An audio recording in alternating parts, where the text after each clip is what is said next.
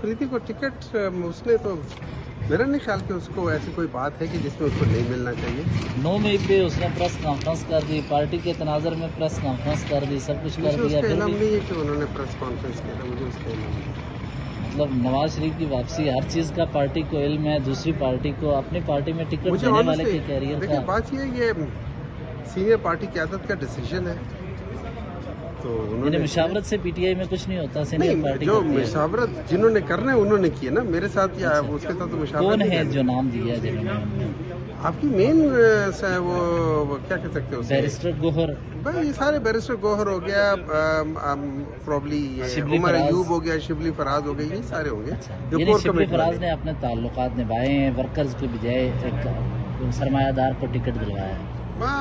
मैं उसके बारे में ये नहीं कह सकते सरवाई लेकिन इन्होंने जो डिप्टी साहब है इन्होंने सेनेट के अंदर अपनी सीट के लिहाज से जो इनकी चीज़ उसके लिहाज से इन्होंने पाकिस्तान तरीके इंसाफ के जो मौकफ के साथ था उन्होंने उसके साथ वफादारी की थी ऐसी कोई बात नहीं है कि उन्होंने कुछ किया नहीं। क्या आपके साथियों को प्रोडक्शन ऑर्डर तक उन्होंने जारी नहीं हुए? उन्होंने दिए ऐसे वक्त में किए जिस वक्त सेनेट इलेक्शन है दस दिन बाद? जिस वक्त उनके पास अथॉरिटी थी तब उन्होंने की जिस वक्त तक उनके पास अथॉरिटी थी नहीं थी वो कैसे कर सकते? देखिए जब वो चेयरमैन सेनेट बन गए उन्होंने पहला काम ये कि उन्होंने तो वो प्रोटेक्शन ऑर्डर्स किए। जब तक वो चेयरमैन नहीं थे तो वो कैसे निकाल सकते थे?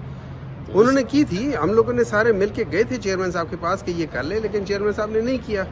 लेकिन जो ही चेयरमैन बने, इन्होंने पहला काम किया था इजाज चौधरी का प्रोटेक्शन ऑर्डर वो किया था। तो आपके पास जब पावर्स आते हैं, आप उस लिहाज से करते हैं ना। तो मेरे ख्याल में ही is done the right thing बाकी हाँ पार्टी वर्कर्स का वो है, उसमें डेफिनेटली होना चाहिए। लेकिन ये आज़ाद होकर पीटीआई में शामिल होता है। थ्रू आउट पीटीआई के जहाँ जहाँ वोट होता था वहाँ वहाँ ये वोट देते थे। तो in senate since 2018 he has contributed towards Pakistan तरीके इंसाफ। किसी एक जगह पे ऐसा नहीं था कि वो कंट्रीब्यूट ना कर ठीक